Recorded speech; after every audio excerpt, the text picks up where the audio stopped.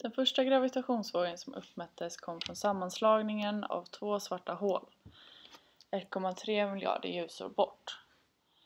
Dessa var 29 respektive 36 gånger så stora som vår sol i massa.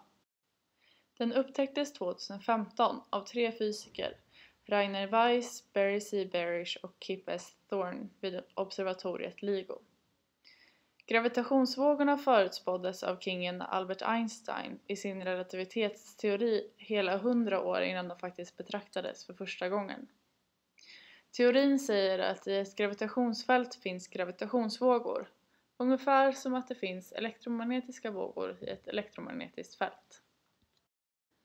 LIGO består av två anläggningar. Den ena är i Livingston, Louisiana och den andra i Hanford, Washington. Det finns två LIGO-anläggningar för att man ska vara helt säker på att gravitationsvågor faktiskt uppmätts och att det inte bara är en lastbil eller annan vibration som detekterats. Gravitationsvågor rör sig med ljusets hastighet genom rymden. När en gravitationsvåg passerar genom jorden trycks rumtiden ihop en miljondels av storleken på en atom. Alltså superduper lite. Vågorna färdas genom universum nästan opåverkade av de kroppar de passerar.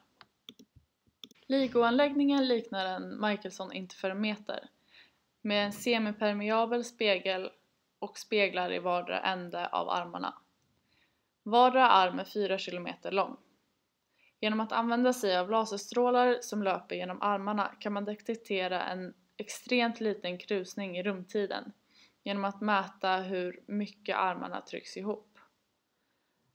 För att mätningen ska vara möjlig krävs att ljuset har gått en mycket längre sträcka än 4 x 2 km. Därför finns ytterligare speglar som får ljuset att reflekteras.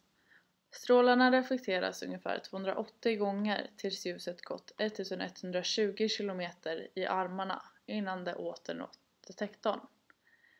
De två strålarna interfererar sedan med en fasförskjutning som gör att man kan beräkna storleken på gravitationsvågen. Eftersom LIGOs interferometer är en aning större än Fysicum valde vi att göra en mindre modell i form av en Michelson-interferometer. När vi hade kollimerat och linjerat lasern ställdes speglarna på ett sätt som gav destruktiv interferens. Likadant gjordes på LIGOs interferometrar.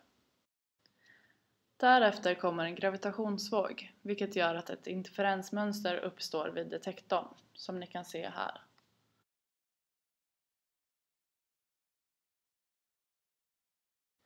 Sedan den första gravitationsvågen uppmättes har flera mätningar gjorts och nu finns planer på att nya detektorer ska skickas ut i rymden för att minska eventuella störningar.